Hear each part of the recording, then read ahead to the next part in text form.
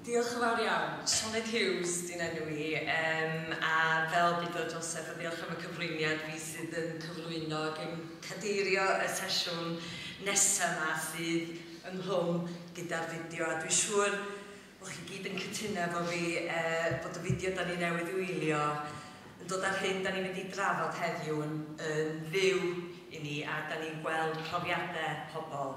Um, Da ni'n gweld y sefyllfa enbyd mae rhai cymunedau, mae cymunedau yn ei wynebu, ond hefyd dwi'n credu da ni'n gweld yr egni sydd yna, y bwriad sydd yna, a'r cryfder sydd yn y cymunedau i wneud gwahaniaeth. A dwi'n siŵr felly heddiw be da ni eisiau ymfalchu ond ydy'r cyfle i wneud y gwahaniaeth yna. Felly, falch iawn o fod wedi rhannu'r llwyfan gyda'r fideo yna. Ond nid fi fydd yn gwneud y siarad i gyd, mi fyddai hoffwn i gyflwyno, um, gofyn i'r tai siaradraig sydd yn mynd i fod yn uh, cyflwyno ac yn siarad y, y drafodaeth yma efo fi i ddod fyny i'r llwyfan os gwelwch yn dda.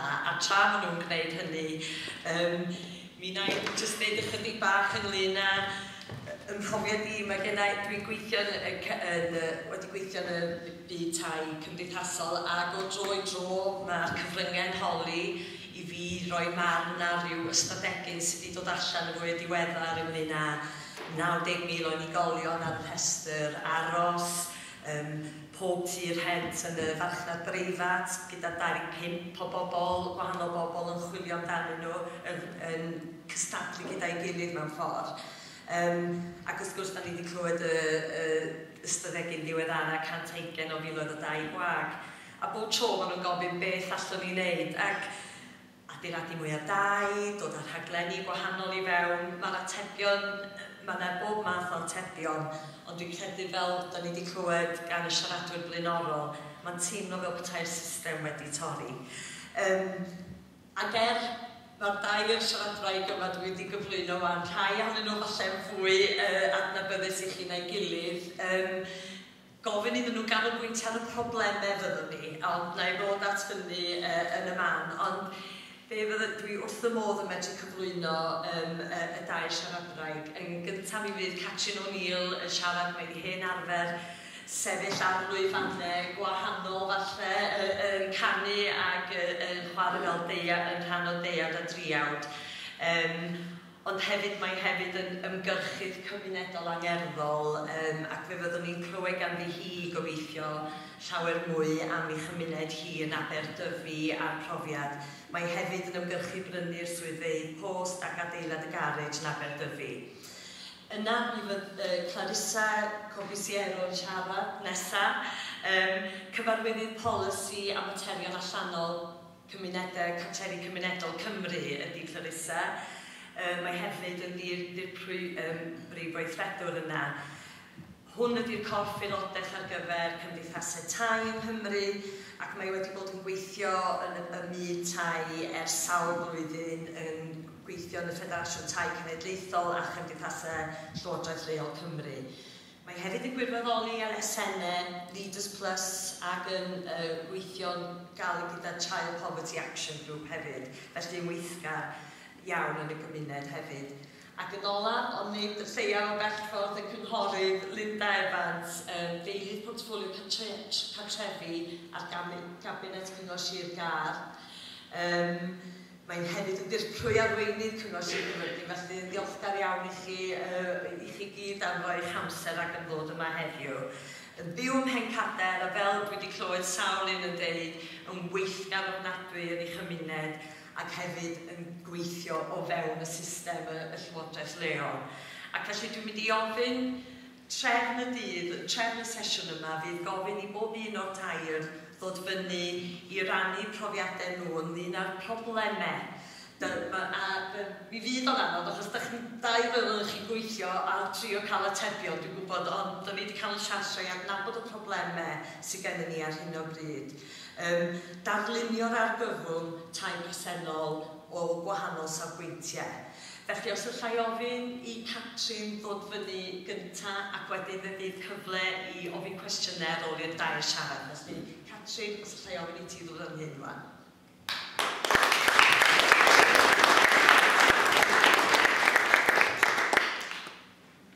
Bore da pawb, sydd â chi?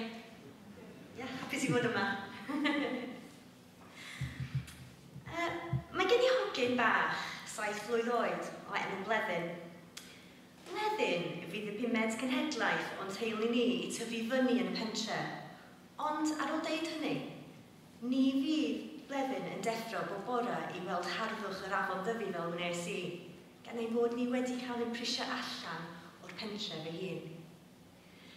Da ni wedi bod mor lwcus i allu prynu tyfyn bach o ar ein teulu am lot llai na'r pris farchnad yng Nghymdeithlon, sef y cwmbychan tu ôl i Aberdyfi. Lle hynod o brydferth, ond ar ochr anghywir y mynydd. Mae Aberdyfi wedi newid cymaint dros y blynyddoedd. Pan o'n i'n fach, oedd yna cymuned agos iawn, gyda llawer o bobl, yn enwedig y genhedlaeth hun yn siarad Cymraeg a tua 40 o blant yn yr ysgol gynradd.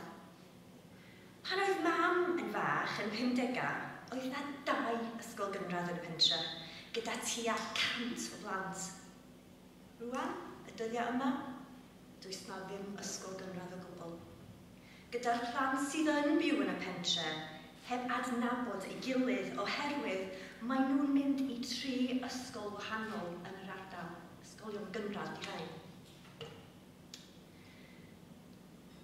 Pan da chi'n cael ysgol mewn pentre fel Aberdyfi, da chi'n tynnu allan calon y cymuned a rhoi hwylen arall yn ein arch. Ar gwyl y banc yn mis awst, mae yna tua 3,000 o bobl yn pentre. Yn y geia, 600. Mae bron iawn i 60% o adeiladau yn y pentre yn ailgatrefi neu'n cael ei gosod ar gyfer gwyliau. Mae yna tua 300 o tai i rentio ar gyfer gwyliau, ond dim un heddiw er mwyn byw tymor hir, dim un yn y pentre, dim byd o gwbl. glwad am bobl o tu allan yr ardal yn prynu tai yn canol y pentre am cash, heb boddran, hyd yn oed cael viewings. A teuluodd lleol yn cael eu tafu allan o gatrefi er mwyn creu mwy o Airbnbs. O'n i'n aml iawn yn torri lawr ac yn crio. O'n i'n teimlo mor anobeithiol. Ond, diolch beth, naeth ffrind o Llandidoch roedd mewn cyswllt gyda Steve a Cara Wilson, oherwydd oedd y gymuned yna mewn yr un un sefyllfa.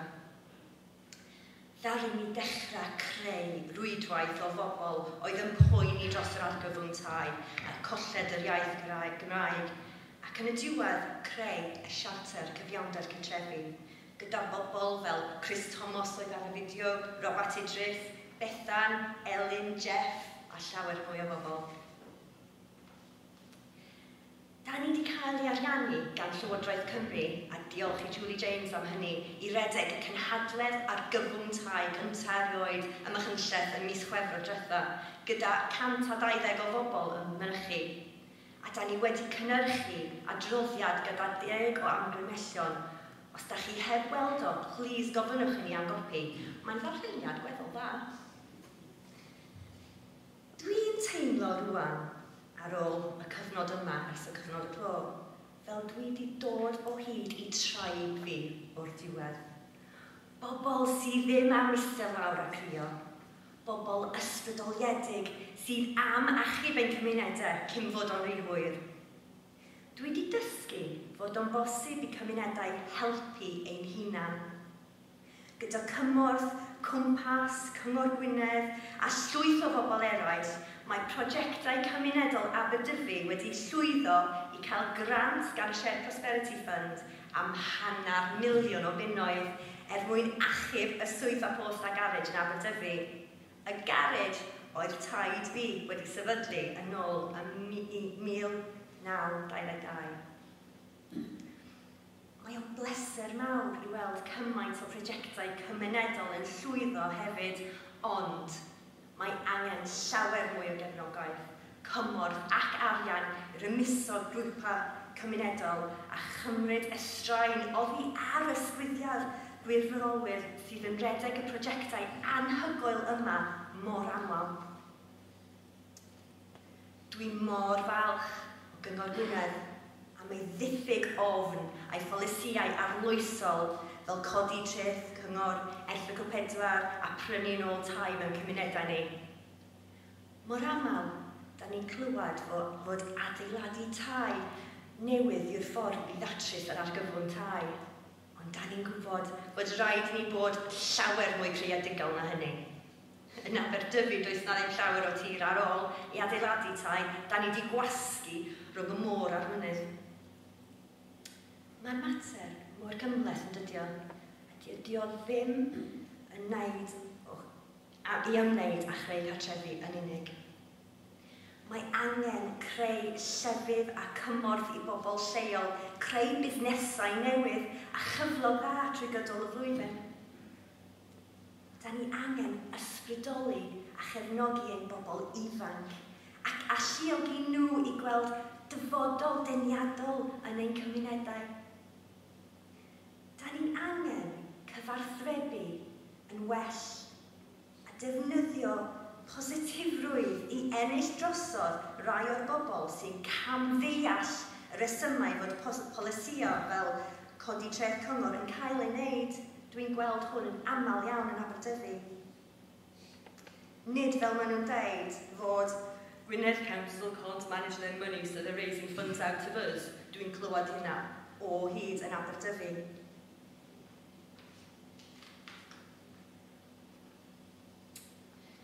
Mae'r agwedd yma yn rhy aml.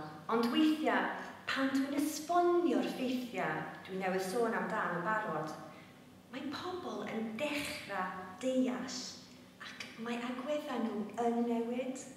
Wrth gwrs, fydd na rai sydd ddim isio gwrando a maen nhw'n hapus iawn i chwarae'r victim bob tro.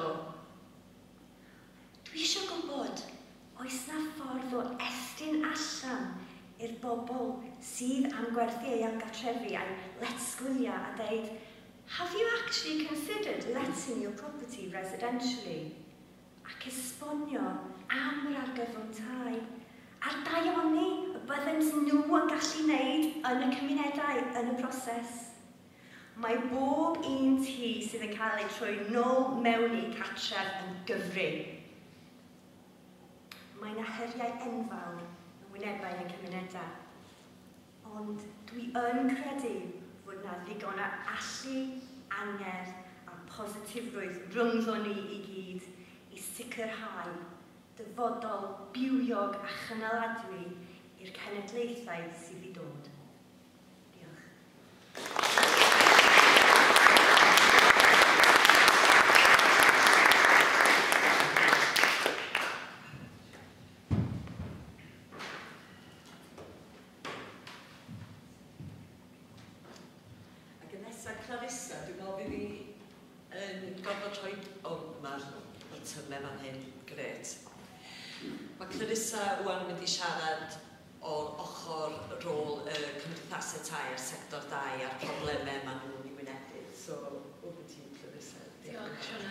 Bra pawb.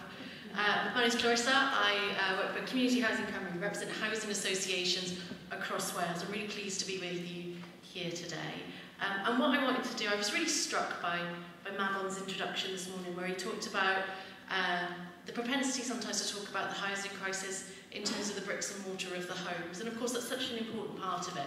But I have been so struck and moved this morning to hear all of the stories which really bring to life that this is really about community people, the prosperity of an area, and the health and the happiness of those that live within it. And I wanted to start there actually with people and to share some research that Community Housing Cymru has done with its housing associations across Wales about the impact of the housing crisis on their tenants because that's what we're here for, that's what matters. And uh, here's some findings of our shortly to be launched cost of living research. And as you can see, it's demonstrating that actually, yes, we're living through a housing crisis, but really what we're seeing is a number of competing crises all coming to bear on the poorest in our society. And those on the lowest income bearing the brunt first and hardest. 19 housing associations told us that they were working to maximise income uh, across their tenants. 19,000 tenants received support in the first six months of this year. All of the housing associations we spoke to talked about the work they do to help tenants to navigate what is a horrifically complex system.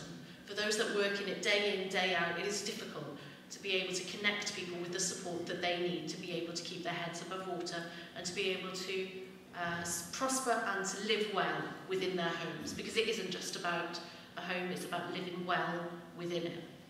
As you can see from the slide, hardship grants are being made available by housing associations and many other support organisations, many of whom are in this room today. 70% of housing associations expect the demand to go up again this winter. They expect to put more money in to supporting tenants. And I thought what was really striking, and as I said, there's a report coming out uh, next week with lots more detail on this, but food, furniture and energy were the top reasons that people got in touch with their housing association for help, the real fundamentals of living well within a home. So what does this mean in terms of services and organisations? Well, of course, it creates huge pressure. So here are some findings from, again, shortly to be uh, released uh, set of research which we commissioned with Cymorth Cymru, who represents homeless and support providers in Wales.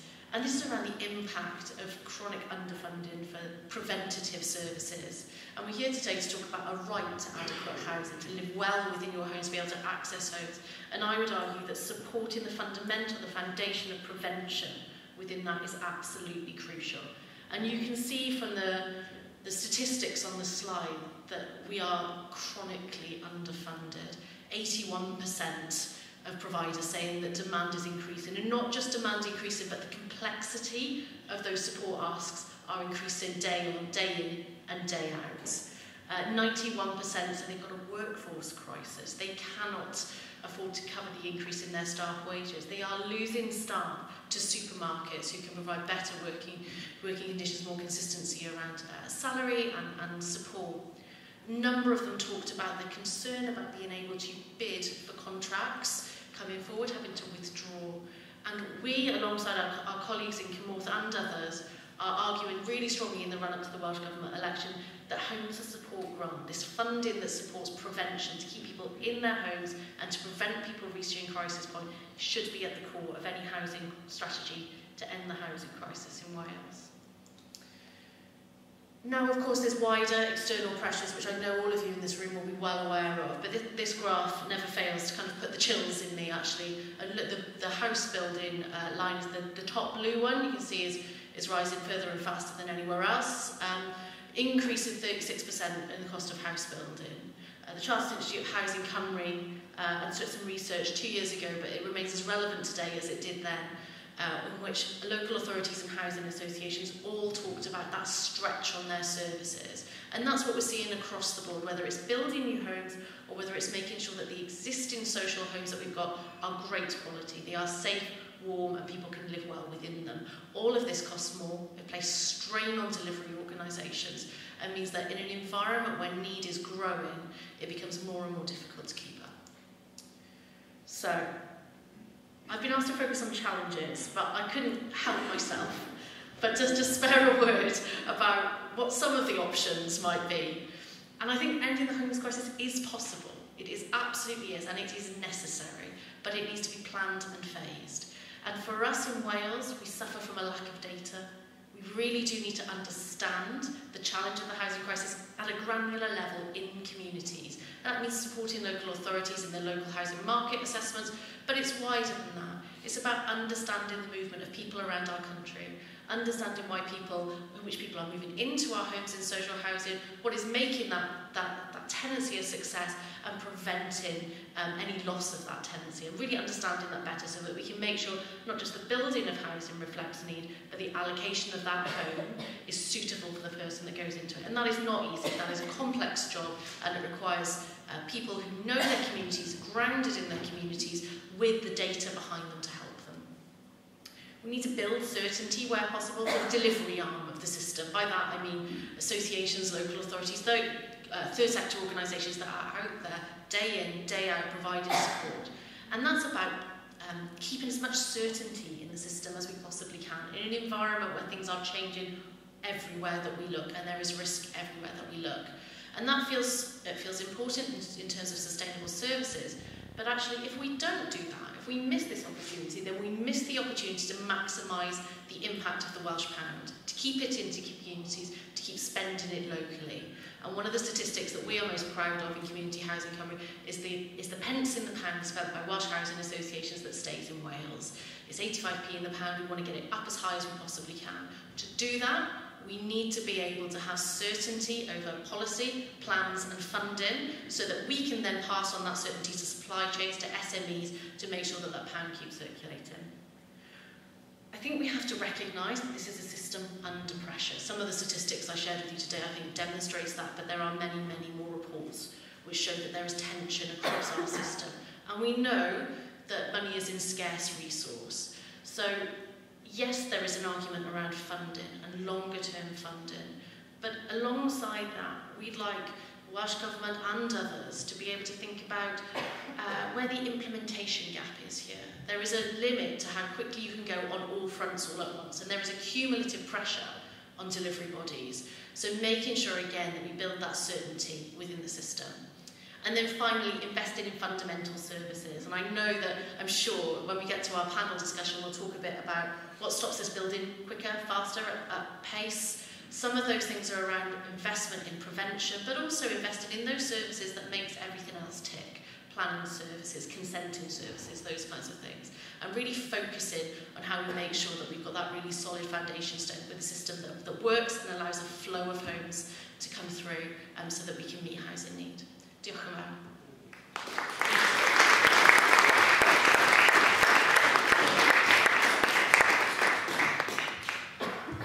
fawr iawn, Clarissa, digon i feddwl amdano fan'na. Felly cofiwch feddwl am gwestiynau, mae yna dyna gyfle mawr i chi ofyn cwestiynau ar y diwedd. Ac yn ymlaen i'r siaradwr ola, Linda, diolch yn fawr iawn i chi. Dim problem. Wel, bore da i chi gyd, a diolch yn fawr i chi am y cyfle i fod gyda chi heddi. Ga i ddechrau trwy rhoi bach o ystadegau o ran fframwaith y sir rwy'n ni'n byw yn ddi. Fel mae rhan fwyaf ohonoch yn gwybod, mae sir gar yn ne o'r llewyn Cymru. Yn ddeiaryddol, mae'n grydyr sir fwyaf yng Nghymru ac yn bydd dwaref o ran poblogaeth, gyda bron i 188,000 o drigolion yn byw yn ddi. Wel, e fod yn bwbl onest, â chi 187,000 a 900 yn, yn union. Ac hefyd mae gyda ni 81,000 o gartrefi o fewn y sir. Mae canran poblogaeth y sir sydd dros 65 bod yn uwch na chyfartaledd Cymru. A chanran rhai sy o dan 15 bod ar gyfartalaeth yn is na Chymru. Mae hwnna'n dweud mawr. Mae hyn yn awgrymu bod poblogaeth Sir Gar yn amlwg yn hunuddiol mae hefyd 61 y cant o'r sir yn cael ei adnabod fel ardal wledig. Mae Sir Gar yn un o'r 11 awdurdod yng Nghymru wnaeth gadw ei stoc o gartrefi. Ac rwy'n falch o gael dweud y cyntaf yng Nghymru i atal yr hawl i brynu. Nôl yn yr 80au, roedd gennym bron i 17,000 a hanner o gartrefi cyngor o fewn y sir. Erbyn 2014, roedd y ffigwr hwn wedi cwmpo i'r rhyw grondwch arno fe 8,800. So cyn bod ni'n mynd ymhellach, fi'n credu bod rhaid i ni rhoi ystyriaeth i'r rhai ffigurau. A ddechrau'r 90au, roedd poblogaeth Sir Gar yn rhyw 162,000 162,000 ar ddechrau'r 90au. Erbyn hyn, fel nes i wedi yn gynt, mae Ebro yn bring o 188,000. Felly, sy'n eisiau calculators o'n ni, mae poblogaeth Sir Gar wedi codi bron i 16 y cant, gyda cyflenwad o gartrefi cyngor wedi cwympo dim ond yr cyngor dwi'n siarad amdano fyna.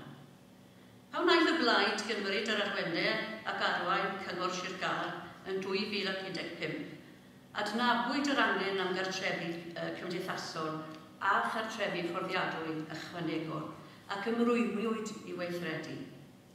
Cyflwynwyd a chyferydwywyd strategaeth 2 yn 2016. Strategaeth i gael mwy o gartrefi fforddiadwy o fewn y sir.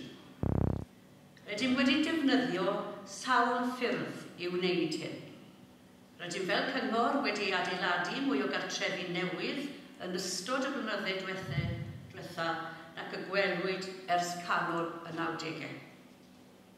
Rydym wedi prynu cartrefi sydd ar y farchnad agored. Wedi adnewyddu adeiladau masnachol y cyngor ac adeiladau eraill i fod yn gartrefi. Gosod cartrefi ar ran trigolion trwy'n hasiantaeth gosod cartrefi adnabyddir fel gosod syml, dod â chartrefi gwag yn ôl i ddefnydd a chydweithio'n agos gyda chymdeithasau tai yn y sir. Mae gyda ni erbyn heddi 2016 mwy o gartrefi fforddiadwy yn y sir. A diolch byth amdanynt. Ond, dyw hyn ddim yn ddigon i ateb y gofynion. Mae mwy o ddigartrefedd yng Nghymru yn cynnwys i'r gael nac y gwelwyd erioed. A'r cwestiwn falle yw pam bod hyn yn digwydd. Mae yna rhestr eang o angreifftiau, o amgylchiadau sydd wedi ac yn dal i gyfrannu at y sefyllfa sydd ohoni. Yn bennaf, costiau byw, a sydd yn ei drwm yn gallu creu tlodi.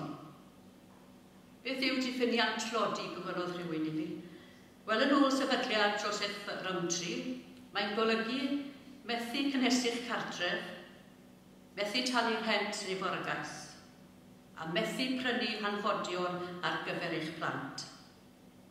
Mae'n golygu deffro pob bore yn gwynebu ansicrwydd a'r gorfodaeth i wneud penderfyniadau anodd am arian. Mae 30.6% o blant Cymru yn byw mewn tlodi. Mae 17 o blant, 17% o blant sy'n byw mewn tlodi yng Nghymru yn byw mewn cartrefi lle mae pob oedolyn o fewn y cartre yna yn gweithio. Mae hwnna'n stori wrth ei hunan. Ac yn ola, mae 18% o bensiynwyr yng Nghymru yn byw mewn tlodi, sef un o bob pum. Mae'r ffigwr yma wedi cynnyddu 4% dros y ddegal ddiwethaf. Pan ddaeth y clo mawr cyntaf, fe newidwyd polisi digartrefedd gan Llywodraeth Cymru. I sicrhau bod pawb yn cael llety, mae'r polisi yma dal mewn lle ac rwy'n deall yn iawn pam ac rwy'n cytuno gyda'r polisi hwn. Mae yna newid mawr hefyd wedi bod yn y ddeddf gosod cartrefi yng Nghymru. Ac o ganlyniad, mae mwy a mwy o landlords preifet yn penderfynu peidio parhau ar arfer yma ac yn gwerthu cartrefi. Yn hanesyddol, hyd at rhyw flwyddyn yn ôl, yn wythnosol yn Sir Gar, byddem yn cael rhyw 3 neu 4, ie, 3 neu 4 normod oedd hyn, yn cyflwyno ei hun yn ddigartre i'r cyngor.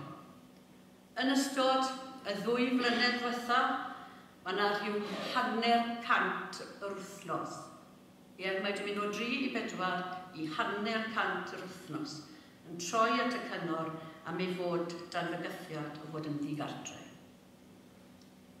gyda ni ar hyn o bryd 898 o bobl ar yn cofrestr wedi cyflwyno hwn yn ddigartre. Felly bod nhw yn yr cychwyn, cychwyn y daith yna, ond dyn nhw ddim pen draw. Mae da ni dros 300 a hanner sydd wedi cyrraedd y pen draw, lle mae'r haid i uh, ymgartrefi nhw. Mae gyda ni wythnos hyn, wythnos hyn, 143 mewn llety dros dro. 37 o'r wrna yn diluoedd.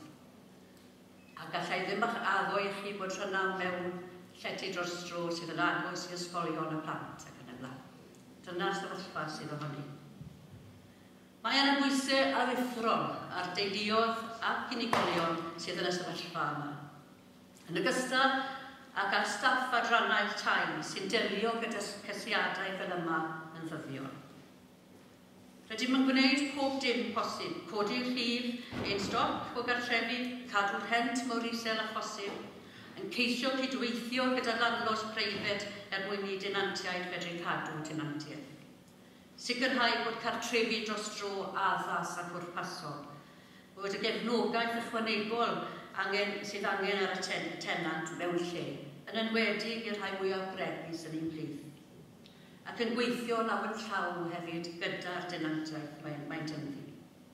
Mae'r gwaith mae'n mae'r ma gwaith mae'r hybiau yn ei gwneud, mae gyda ni hybiau yn panol trefi mwyaf yn ein siri yn rhoi cefnogaeth amrysiadwy i deuluoedd ac unigolion. Mae gyda ni'r awydd a'r weledigaeth i sicrhau bod trigolion ein sir yn cael y cyfleoedd gorau posib. Mewn cartrefi sy'n addas, ac yn yr ardaloedd cywir. Ac i ni'n gweithredu ac yn adeiladu ar hyn yn ddyddiol. Ond i lwyddo mae angen mwy o gyflogaeth Llywodraeth Pryden a Llywodraeth Cymru. Y peth mwyaf falle yw'r codi'r Local Housing Allowance, sydd ddim wedi codi dim o gymharu ar hent cartrefi preifat yn Nghymru. Mae hyn yn hanfodol os yn i am helpu tenantiaid i aros mewn cartrefi rhent breifed. Mae e'n hanfodol i fod yn codi. Codi'r discretionary housing payment sydd eto heb godi yn ystod o blynyddoedd diwethaf. A codi'r discretionary assistant fund Mae'r grantiau yma yno i helpu tenantiaid gadw tenantiaeth. Ond mae'r hent a chostiau byw yn codi tra bod y grantiau yma yn lleihau neu yn aros yn yr unfa. Ac er bod y grantiau yma yn linell bywyd i lawer, rhywbeth dros dro yw e. Beth yw'r diwediad Saesneg yna? It's a non-sticking sticking plaster. Ac wrth gwrs, sicrhau bod cyflogau sylfaenol yn uwch i rhoi cyfle i unigolion a theuluoedd. Heb hynny bydd yn gobeith dan neb i brynu cartre nac yw'r rhentu. Be sy'n bwysicaf mewn bywyd bod ni'n cael rhai cyfle i bobl i rhoi cartre iddyn nhw. A dechreuad gore at unrhyw un gael yw bod cartre dyn nhw. Bod rhywle bod nhw'n lle galw getre a bod nhw'n gweud fi mi getre. A mae ma gyda nhw getre i hynny. Mi allan ni mynd mlaen am y pwnc yma a, uh, a sôn amdano lot o bethau wrthoch chi, achos mae'n agos iawn iawn i'n halon i hynny. Mae e'n bwnc sydd yn cadw fi ar ni hun ar y nos hefyd. Ond am y tro na i adael e'n fyna. Ond diolch unwaith eto i, i chi am y cyfle i'r rhoi'r sefyllfa. Mae'n sefyllfa drist, mae'n sefyllfa dor cyflonus. Ac mae yna waith difrifol i wneud i trial o'i trefn a symud ymlaen. o'r Diolch.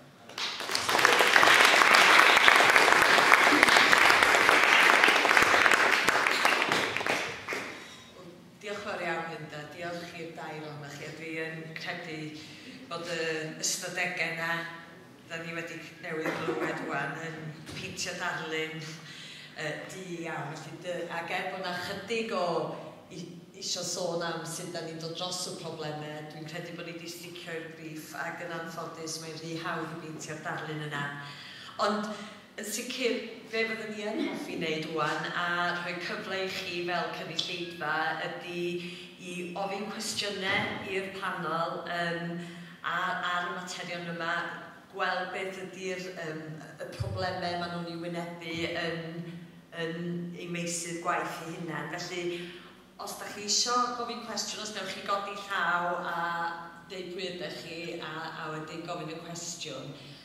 Tra da chi yn meddwl am hynny, mae gen i ambell i gwestiwn falle fysa ni medru pigo fyny, felly os ewch chi feddwl amdani ar hyn o bryd.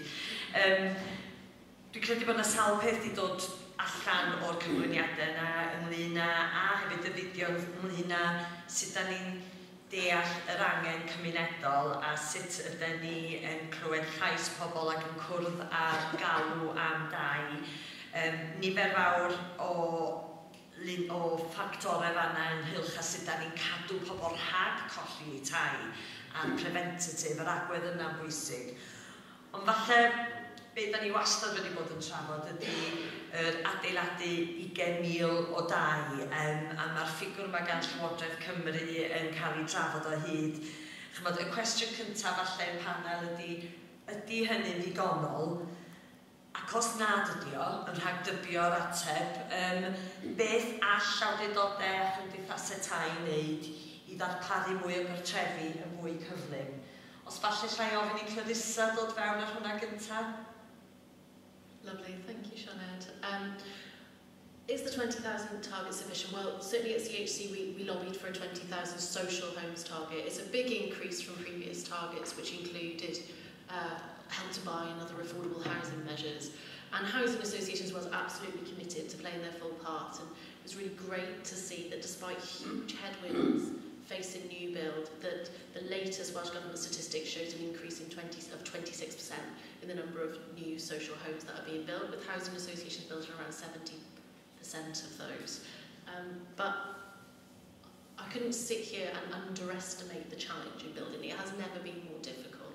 The increasing costs that I talked about in my presentation are really kind of biting on viability of development, delays across the board. So when we survey our members, they talk about uncertainty when they take new homes through the system we, uh, we had some feedback from some of our members that talked about delays of between 6 and 29 months, costing millions of pounds, again introducing huge uncertainty and risk within the system. So it is incredibly challenging accessing the skills and the supply chain that we need.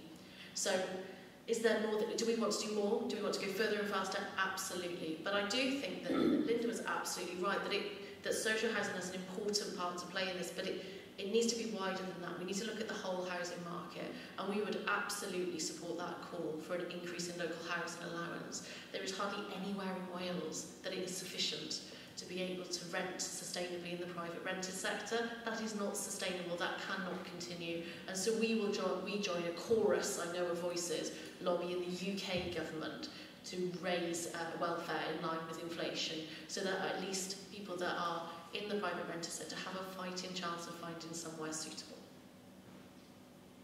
Thank you, Clarissa. Diolch. So rwy'n arall eisiau dod fewn, dyn? Linda gyntaf wedyn Catrin, diolch. Ie, yeah, credu bod, bod e'n bwysig, beth bod ni'n dim yn nag y dim ond yn canolbwyntio ar adeiladu felly, achos o'n i'n mor i'n gyrru lan bore yma, oedd um, NRW yn siarad am beth sydd plant um, a, a maen nhw'n siarad am wedi bod, um, bod, um, bod bwysio rhag o'r dau yw bod na gymaint o fflygdys. Os ewch chi'n anellu, canol dreth anellu, Ywch chi fel mae ti'n adael yn fan achos mae, mae ei gyd yn, yn, yn, yn fflydblin. Mae eisiau ni edrych lot falle ar adeilad, adeiladau sydd gyda ni yn barod. Ond nes i sôn gyda bod ni am um, adnewyddu um, llefydd sydd wedi bod yn, yn, yn busnesau ac yn y blaen. Yr grws y, grws y ffordd o neuad y sir yn y Sir Gyfyrddin, mae yna adeilad fel oedd e'n digwydd bod yr adeilad cynllunio, yna rei o'r swyddogion cynllunio blynyddoedd on. Ond mae hwnna nawr wedi cael ei newid, a bydd e'n barod um, mis Ionawr, i rhyw 24 o fflatiau. Um, dau, um, dwy ystafell wely, un ystafell wely, pethau sydd eisiau mm. uh, yng nghanol Tre. Gallai jyst gweud un peth hefyd. Un o'r pethau sydd yn cael ei wneud yn Sir Gar, a dwi'n siŵr bod e'n cael ei wneud yn siroedd eraill yng Nghymru, yw pan mi ni yn adeiladu tai newydd, yn yn, yn, yn, um, yn yn polisi gosod tai, mae e'n dweud os oes doi na ddoi berson yn yr un sefyllfa, achos mae yna fandiau, os oes yna ddoi berson yn yr un sefyllfa, a bod, di, a bod yn union yr un sefyllfa um, a bod un o'r hynna a cysylltiad lleol mae'n nhw sy'n cael y dewis gyntaf am y cartre. Pan mi'n ni'n adeiladu tai newydd, um, mae'r gosodiad cyntaf yna, mae'n, um, mae yna i, i fi'n bersonol yn ei arwyddo i ddweud bod y bobl bydd yn byw yn, yn yn wedwn ni bo i o dau, bod y bobl bydd yn byw yn yr 20 o, o gartrefi yna gyda cysylltiad lleol. Ac mae hwnna'n bwysig i fi achos wrth gwrs pan mae'n cael ei osod yn y gorffennol ar ôl ni, falle bydden nhw'n dal yn mynd i'r gyferddin, ond byddwn nhw ddim falle ar cysylltiad mor lleol yna. Ond mae hwnna yn bwysig, achos credwch i fi, mae yna angen yn bob ardal. Hmm. Dwi bynnag mor bledig i fi. Yn anffodus, y drafferth mwyaf yw mewn ardawydd gwledig, dyn ni ddim eisiau adeiladu hanner cant o dau, ond eto i gyd mae adeiladu hanner cant o dau yn rhatach ac adeiladu 15 neu 10 o achos y cost o uh, adeiladu uh, hwnna. Ond mae e'n bwysig bod ni'n cydnabod bod pan mae tai newydd yn cael ei adeiladu, bod y cyswll lleol na i'r gosodiad cyntaf o'r, o gartrefi. Mae rili really bwysig. E heb ni beth yw'n pwrpas i adeiladu. Diolch, Linda. Cadw, ti eisiau dod yna? Diolch. Ie, mae'n gyrru fi wyll pan dwi'n clywed ar, ar y newyddion a bobl yn sôn, o, mae'n argyfwng tai, mae'n rhaid i ni adeiladu mwy o tai. Nid jyst hynny di'r ateb. Um, da ni wedi gweld yn Aberdyfi ar ôl cael ysgol, fel i adra um, adeiladu rhyw deg o fflatiau bungalows a tai. Um, ond doedd gan ni fel cymuned ddim control dros pwy oedd mynd i'r tai na. So ddarn ni colli ysgol, gwerthu'r tir yn rhad i'r cyngor. A wedyn ddari rhyw dyn oedd newydd dwad allan o'r carchar yn Birmingham am armed robbery cael tŷ yn y, yn y development na. A wedyn, da ni bobl lleol gwrthod byw yna, a da ni cael gymaint o problemau efo'r heddlu a delio drugs a bob dim yna rwan oherwydd y bobl yma sydd wedi symud fewn i'r pentre. So mae, mae actually adeiladu tai weithio yn creu mwy o problemau, a na, mae yna pryder mawr o lle fydd ni'n actually um, bildio yn cymuned ni anyway, achos fel ni'n dweud gynedach, da ni wedi gwasgu rhwng y mynydd a'r môr. Um, Be mae yna, be sydd yna yn Aberdyfi, ydy llwyth o tai, rai sy'n wag, rai sy'n ailgatrefi neu, neu llety sy'n wedi dŵad nôl ar farchanad oherwydd um, y pethau newydd sy'n dod mewn fel, fel codi, treth cyngor a stwff. A dwi'n mor falch ddeud fod Cyngor Gwynedd wedi dechrau prynu rhain yn ôl a dwi'n gwybod bod o'n mwy gostus i wneud hynny. Ond i ni fel cymuned, nid adeiladu llwyth o tai ydy'r ateb. Da ni angen creu tai sy'n mewn um, perchnogaeth y cymuned hefyd. Fel, da ni'n gwybod y gyntaf pwy sy'n angen y tai na, yn ail lle da ni'n gallu adeiladu nhw. So mae, dwi'n meddwl, yn hytrach na jyst adeiladu tai bob man, mae angen siarad yn gyntaf efo'r cymunedau i wneud, lle i wneud o, ac actually os ydy o y peth iawn i wneud yn y peth gyntaf.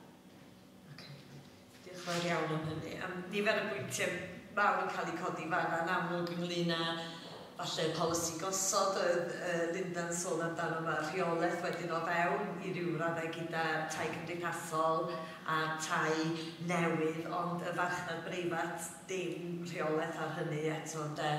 Um, Felly gallai eniadio y tai cymdeithasol sydd yn y sir, mae nhw wedi ymrwymo mm. i'r un polisi. So felly un, un cof restr am angen yeah. tai, tai cymdeithasol sydd. A mae'r uh, cymdeithas y tai a'r cyngor sir yn defnyddio'r un, mae'r cymdeithas y tai yn defnyddio'r uh, un y cyngor. So felly, pan mae ma, ma cymdeithas y tai yn adeiladu tai hefyd, mae nhw'n goffod yn rwymio hefyd i'r un polisi o gosod yr lleol Diolch yn fawr iawn am godi'n pwyntio. Os yna rhywun o'r gynllun eisiau codi cwestiwn? Na i gario mlaen tan os di hynna. o, mae'n hwnna'n yn ddim alas. Nid i fideo, os yna beic neu falle allwch chi... Ie? Ie, ie, da iawn am hynny. Diolch yn fawr. Diolch. Uh, ie, haf Elgar dwi o Cyfeillio Ddeiar Cymru.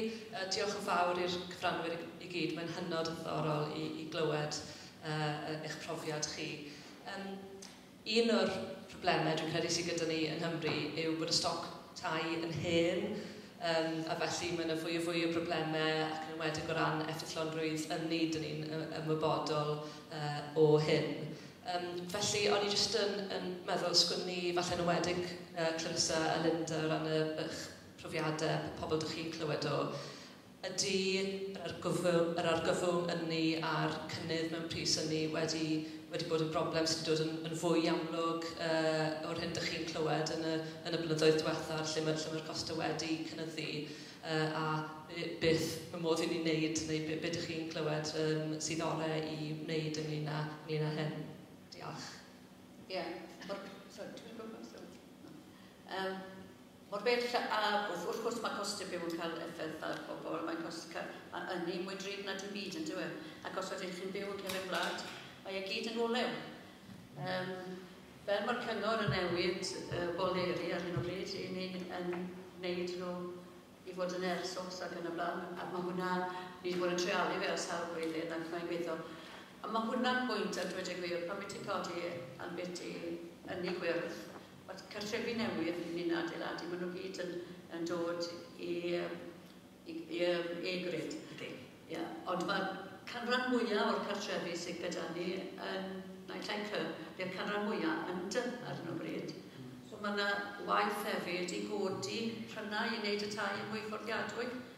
So ni'n siarad am, mae eisiau fwy o dau, mae eisiau newyddi adeiladau a hefyd, rydyn ni'n beidio cofio am y 9,000 sydd gyda ni, y 9,300 o dau sydd gyda ni'n barod. Mae da ni ddyletswydd i edrych ar ôl y trigolion na hefyd, y tenantiaid na. So mae ma hwnna'n rili really bwysig. Um, a ni'n neud hynna ar hyn o bryd. Pan mae tai'n dod yn fag, ni'n gael fe retrofit, sef beth yw retrofit yn Gymraeg. Ond retrofit yw'r gair Saesneg amdano fe. Um, A mae, e ond, mae e'n broses sy'n ddrud. A mae, e, mae e'n ddrud i, i wneud. Yr adeilad ni wedi wneud yn, yng Nghaerwerddin nawr yn adeilad cyngor, mae hwnna wedi costi lot fwy o arian falle na bydde adeiladu cwblodau newydd o achos bod rhaid i gael e i'r safon cywir. A mae'n bwysig bod ni yn ffit, os, os pob cino gallwn ni safio o ran ynni, o ran y, y byd a'r bobl sy'n byw yn on that? Yes, please. I, I absolutely, absolutely agree with that. I think on a UK government level, there are things that the UK government could do now to put some pressure on the energy companies. So we, alongside many, many others, are pressing for a, a social tariff for, for energy, for, for low-income households. I mean, our cost of living survey shows very, very clearly that energy costs are coming through as a real concern for, our, for tenants that live in social homes, unsurprisingly. Um, Linda talked about new build and, and, and like local authorities, new builds that are, are, are built by housing associations are reaching those high standards of, of energy efficiency um, and, that, and that will continue and it's really pleasing to see the Welsh Government recognise that in the way that it, it grant funds its proportion of the new build homes. Um, but Linda's absolutely right, the challenges around existing homes, people that are already living in some of the most thermally inefficient stock in Europe, um, and the cost of bringing those homes up to standard, social housing is around 5.5 billion, give or take the odd billion, depending on who whose research you read, but it is a colossal amount of money. Mm. And it is not an amount of money that the Welsh Government can fund alone, or indeed social landlords can fund alone. So we need to chart a course together to be able to find some innovative financing solutions to get to the goal that we all want to, which is that people can live well and, and can live in a warm and comfortable home. Uh, that's not easy. We're really pleased to see the Welsh Housing Quality Standard, which is the policy framework for the standards within social housing, uh, launched just a few weeks ago. It is an ambitious set of standards. What is absolutely great to see is that it is data-led. So there are um, big ambitions within it, but within that, social house, housing providers will need to assess their properties and will need to set out a target energy pathway to get there. Um, and a huge amount of learning going on across the housing association sector about what works, what doesn't for different types of homes. None of this is easy, and there isn't really a path that is well trodden. We are innovating here, um, but really the elephant in the room is around the funding of that. Um, and I know that I'm going to a meeting this afternoon which brings together a whole range of partners to put some brains together to try and think about what are the options out there to be able to bring to bear private finance alongside public grant and, and the money from, from social landlords. So absolutely agree with you, um, but we need to make progress on building some certainty into the system. Diolch, Melissa. Mae Ewn yn blaen, mae'n gwestiwn arall i ddod fewn os di hynna'n iawn. Diolch yn fawr. Hello, I'm Councillor Shane Cook from Cyffredin Council. I'm the Cabinet for Housing. I've got two questions, is that okay? Yes. Yeah? I wasn't sure. The first one is for Councillor Evans regarding empty properties. Bryn Council, we've got an empty properties team that we funded, the, I fought to get that funded through the core budget. And going forward, that budget's overstretched, and I've got to keep fighting for that. In your council, you've got a similar empty properties team, and are you fighting to, you know, to get that funding for them? Um, well, mae'n bod rhaid gwerthu on translation. Mae ateb yn Gymraeg, oes yna'n iawn? Yeah. Um, os mae gyda ni dîm, mae gyda ni dîm ers ers, tro. Mae wedi bod yn dîm bach iawn, mae dim ond dau, ond mae hwnna, mae'r tîm na wedi, wedi tyfu yn y blynyddoedd diwetha. Mae wedi goffo tyfu, achos oedd gyda ni lot o dau yn wag yn y sir. A pan ni'n siarad yn tai wag, mae'n rhaid i byd o'n hofio, um, yn aml iawn, mae'n ar y symud pan mae'n tu yn wag. Mhm. Os ewn ni nôl yn y dyddiau Covid, oedd tai gwerthu fel pancakes, yn dyn nhw achos oedd y tu a werth o fewn doi fish oedd e wedi wrthi.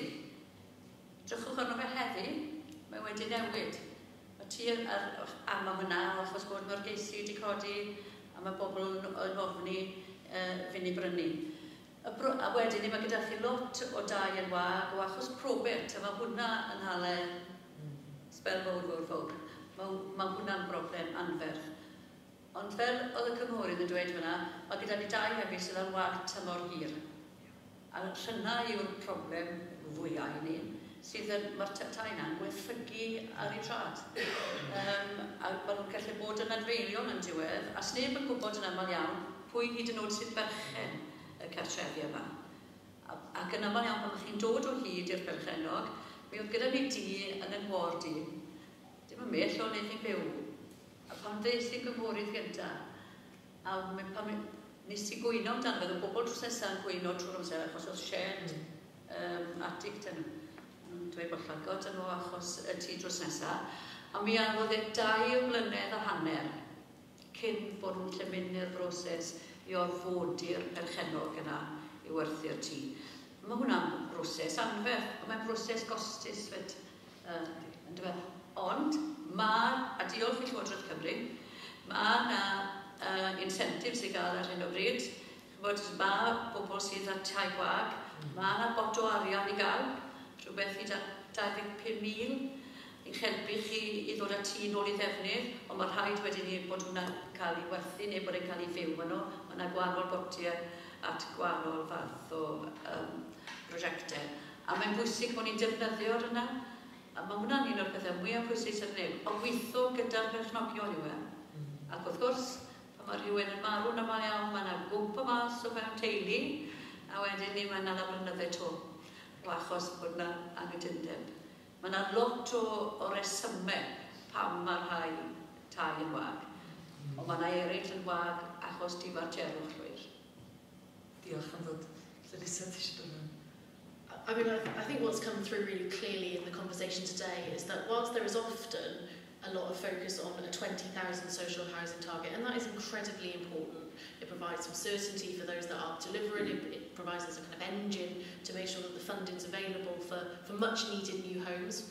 Um, but we're not just talking about new here, we're talking about more homes overall. And, and that point about empty homes I think is really well made. And I just wanted to point to a grant funding stream that is working actually incredibly well the Transitional Accommodation Capital Programme, TACP. It's a mouthful, but what is, um, what is brilliant about it is that it is a pragmatic, flexible fund. It was oversubscribed by social landlords by three times. Um, and what it allows housing associations and, and um, local authorities that hold stock to do is to bring homes back into use, to focus on an acquisitions programme, Um, and so we'd really love to see some more of those kind of more innovative grant funded streams that sit alongside a new build pot Because what that means is that you're able to use every single tool in your toolbox to make maximise the use of the buildings that already exist in your community. And that um, actually includes things like right to buy buybacks. Manon talked at the beginning about the number of homes lost to the, to the right to buy decades ago. I know housing associations and many local authorities are really focusing on how they can bring, bring home some of those uh, some of those homes back into social housing because obviously they, they meet many of the quality standards that the Welsh Government's asking us to meet. So, so that's a big part of the picture as well. Uh, mae yna tŷ yn Aberdyfi a mae wedi bod yn wag am dros 10 mlynedd. Um, da ni wedi gwneud chydig bach o ymchwil a da ni wedi ffeindio allan fod o'n perthyn i'r Bible Society. Nid, nid y Bible Society fawr, ond un bach lleol A mae pob un person o'r Bible Society yna wedi marw rwan. Mm.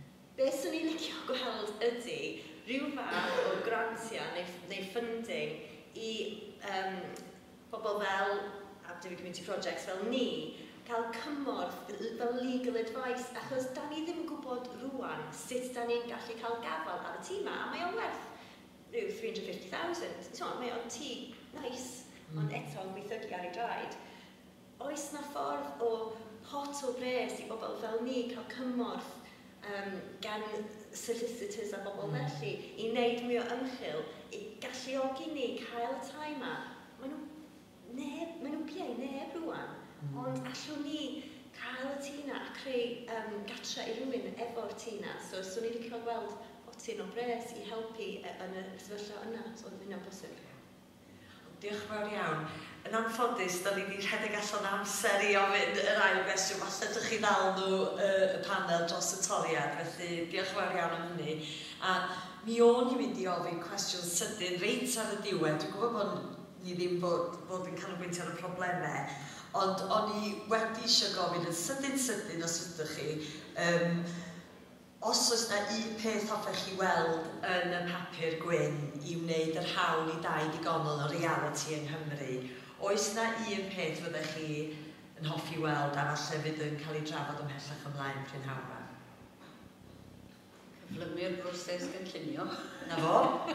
Na beth fwyaf. Diolch yn dan am hwnna'n anfer. Catrin? Mwy o arian, please. I bob dim. Na fo? Clarissa? I agree with all that. I would say invest in prevention, stop people reaching crisis point. Lovely. Diolch yn fawr iawn. Um, Mae'r amser yna wedi hedfan a dwi'n credu bod ni wedi cael lot o negeseuon eitha clir fan ynglyn â'r rôl y gymuned yn hynod y bwysig a clywed llais a data cywir yn dod o'r gymuned a falle cadw i fynd gyda'r adeiladu tai newydd ond yn sicr bod ni eisiau rhaglenni a symleidio prosesau i ddod â tai gwag a tai sy'n bodoli eisoes yn ôl i ddefnydd mae'r gymuned i hangen. Felly, gael diolch yn fawr iawn i chi am wrando a diolch yn fawr iawn i'r panel am eu cyfraniadau heddiw a phobl gyda'r gweddill.